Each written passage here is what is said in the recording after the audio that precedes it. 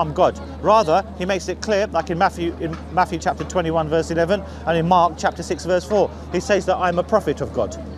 No, that's the Islamic narrative. Also, you also know the New the, Testament. the New Testament, yeah, probably, nice. yeah, I know, it, I know it. So, like for example, he himself, Christ points to someone other than himself as God. In John 17:3, he says, "For this is eternal life, that they may know you as the only true God, and whom you have sent, the messenger Jesus Christ, which is what we believe he is."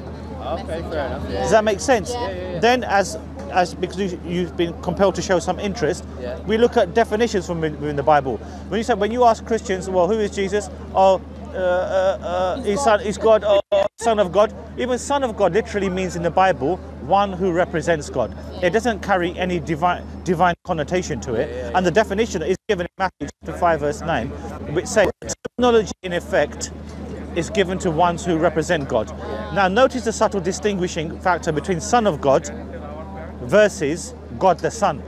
God the Son, the second person of the Trinity, which is never mentioned for Jesus or for that matter for anyone else in the Bible.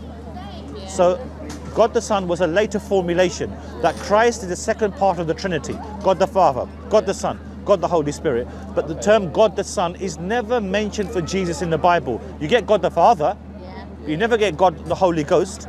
So what we say, we invite you back to worshiping God alone. The- the, yeah. yeah, the one. We, you know, we can use, Jesus is a conduit. He's a prophet. So what he says in the Bible, I seek not to do my will, but the will of God who has sent me. Okay. Of my own free will, I can do be like Muhammad then? 'cause Muhammad- precisely. So right Muhammad on. Would be your Jesus. Yeah. Look at that look over there. One message. Yeah. Prophets of Allah, Adam, Noah, Abraham, Moses, Jesus, and Muhammad. So we say peace be upon them as a mark of um, um, honor to them and uh, as a mark of respect. So they were never God. Muhammad, upon whom be peace, just a simple messenger of God, a prophet similar to Jesus, Abraham, Moses, and so forth. Yeah. Man is never a God. The Bible defines that as well. That man is never a God. I'd say personally, I've seen a lot of similarities in a lot of religions, but I've also I've, the Quran you never really get to read. So you've got a- yeah, so that's you've got a free I- I copy. see- There's a yeah, there's a there's a similarity. Personally, I'm not a big believer in any religion. Like, I'm not. You have whatever beliefs you want to believe in. Yeah. Personally, I see a correlation between all of them. Um, and that's why, yeah, that's why I got this because I've, I've, I've not learned, say, the Muslim side of it. I've, I've learned the Christian side of it. I've seen the Buddhist side of it, but I've never, never had the chance to sort of check. Why we believe Islam is so unique It's, is Muslims or the Quranic narrative is God is unlike his creation. Okay. Number one. So as we guys speak together, if I raise my hands out towards yourselves, what have we got in between? We've got space, matter, time, atoms, molecules, um, you know, everything you can comprehend. And that came as a result of the Big Bang. Everything came forth 13.8 billion years ago. What initiated the Big Bang? How did it come about? It required a conscious will. That's that's what I'm not a person that disbelieves there can be a higher power, but Yeah. as I say, I'm more of a Agnostic. Hasn't been, yeah, it hasn't been proven yet, so I'm, I'm open to it. And Well, that's uh, why it's called faith.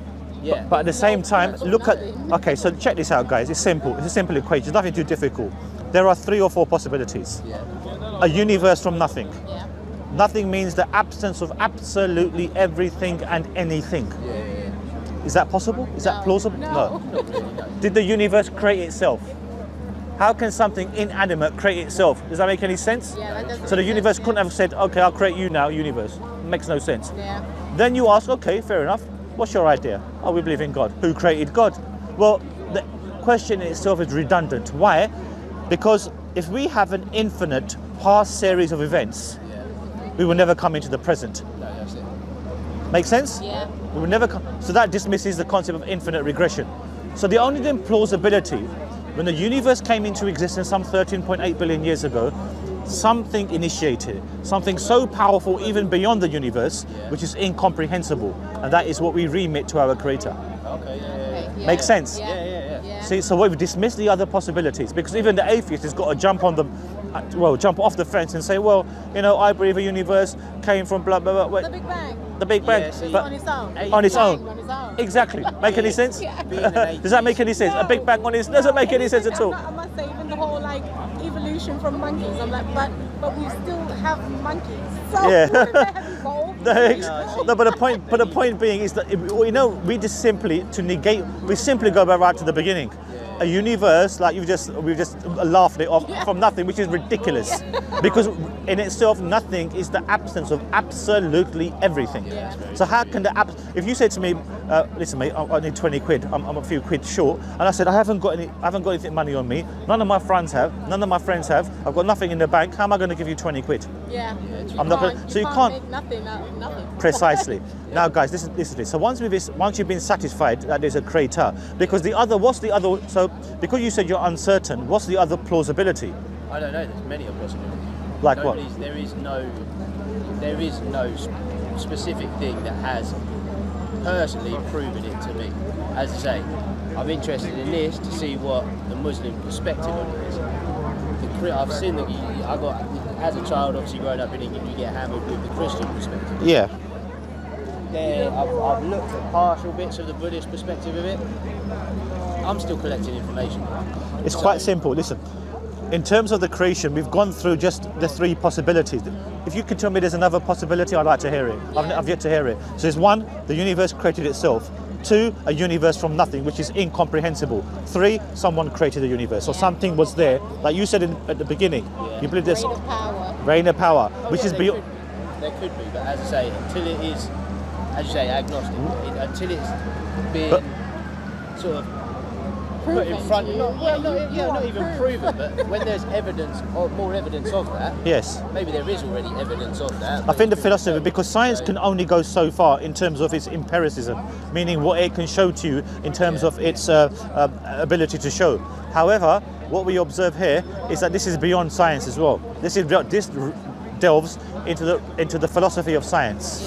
In which they can never comprehend this, a universe simply from that. I think we've fathomed it out between Yeah. us, and I think our friend here needs to fathom it out as well, in the sense that we've had, we've looked at three possible. So atheist, just say you're still unsure. What the, Yeah. so what we've done, we've dismissed the other two, because the universe came into the existence. We've dismissed the possibility that it could have come about from nothing, which is totally absurd. Did the universe create itself? I don't think so, because the universe is an- inanimate. So how can something create itself?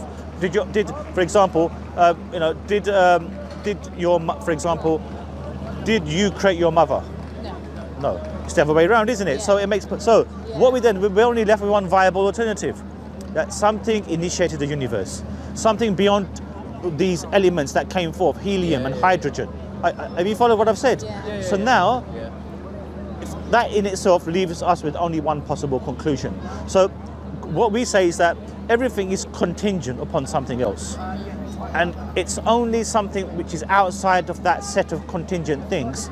That, for example, us three, we could be, I don't know, sitting somewhere in Russia, for example. Me and you could be female, this lady could be a male. But the fact is that we are existing in this particular way. There has to be something outside of that set of contingent things which has made us this way. Yeah, that's true. Makes yeah. sense, yes? Yeah, yeah, yeah, yeah. So what I'm saying, trying to say to you, my friend, the other possibility, so the only one option is something so supernatural has occurred. Even the atheists, in retrospect, accept, accept that it was a supernatural event. Yeah. But we've then dismissed what the other, po- what the possibilities of that supernatural event would have been, and there could be, only be one possibility of a creator who is beyond the universe, more infinite. because it makes sense.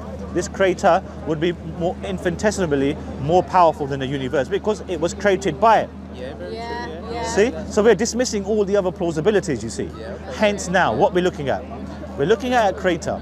Now, now, suppose you're satisfied with that explanation. Yeah. Even though you say you need further evidence, but we've dismissed that. So as Sherlock Holmes once said, I think if I recall, if you dismiss all the other possibilities, whatever remains must be true. Yeah. So that then suggests, yep. So that then tells us that there must be. So bearing in mind that crater, does it make any sense that he's created all of us for jest or for no purpose whatsoever? No. Makes no sense whatsoever, does it? Yeah. So it makes more sense. uh, yeah. And then imagine he's going to tell us, all right, guys, I made you. I've seen a few thousand years, and I'll judge you, and I won't give you any form of, um, uh, you know, methodology of living. So the analogy I like to give, which I've done so many times, is this mobile phone. Pretend you've never seen a mobile phone before. I hand it over to you. I, I tell you, and no one's ever seen a mobile. I said you can speak through this device to someone 12,000 miles away in Australia. They're going to think, all right, show me it. So I can hand it over to you. Then I'm going to say to you, operate it. What's the first thing you're going to ask me about how to operate it? how do I? like, How do I? You need, yeah, what yeah, exactly. do? So you get in, instruction sheet. You'd ask for Yeah. instruction sheet, a manual. This is this is what This is what I'm coming to. Yeah. what I've believed throughout a lot, through a long time is you have the Bible, the Quran. Not quite sure what the Jewish scripts are. Old Testament. The old, yeah, and then obviously the Buddhist. Yeah. Now, personally, the links between them, there's a lot of similarities that something happened, say, thousands of years ago, that people have used these books as, for want for a better word, a self-help a guidance through life, Excellent. which, as I say, how But I you want don't to live like your how it life. also has been used to control people at the same time. You're, no matter what you get, you're going to get people that take advantage of any Yeah, situation. You yeah. are going to get, Yeah. say, there are extremists that use the Quran for a, a bad way. There are and people, the Christians. Christians, Yeah. the, the whole buy sort of. like, Yeah. That's Bash- real. bash It's like magic. Yeah. There are people that are going to take advantage and use something from their perspective Yes. to do, well, not good, to do evil, basically. But then you're going to get people that use it as a self-help book and a guidance through life. So, as I say, I personally I think it's nice to believe in, in It something is. Your than your perspective. It- It's, yeah, I because- say yeah, it's because convinced like we- to, Okay. like, it's not it's not turned me. I, I, I appreciate your perspective, and that's why I've got this to see to study Sure. more. Of, Study more. What you would find commonality between the three faiths is that there is an understanding of a one creator who's unseen. always God. Always God. Basically, the bottom God. line is don't be a dick. don't be a dick to others, and people won't be a dick to you. That is Fair enough. But But at yeah. the same time, we have to also acknowledge our creator as well. Yeah. Oh, yeah, one supreme being. And then to give gratitude. For example, you've got two lovely eyes, just as your uh, friend has as well. If I offer you 50 million quid for both your eyes, No. you could never see it again. Would you accept it? Not a jolly chance. I'm a Okay. DJ. I'd rather you take my eyes and my ears. To be fair, yeah. Yeah, and you give But 50 million. What are you going to do you with it? What are you going to do with it? If I took your eyes, you can get for 50 million. Yeah, but you can't see. How you can't see or you can't hear it either. You were just saying, how are you going to see it? Come on. Uh, come on. I mean, I, I know Ray Charles is in the crow's nest. Let's take in the mic. Right, let's get into the let's get let's get into the uh, the gist of the matter then. On So then, God then sells us revelation upon telling us how one is expected to lead one's life. Now, you made an interesting point about control.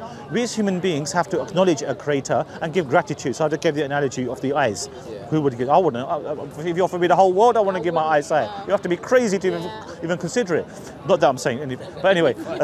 so in that particular context, that creator is worthy of worship.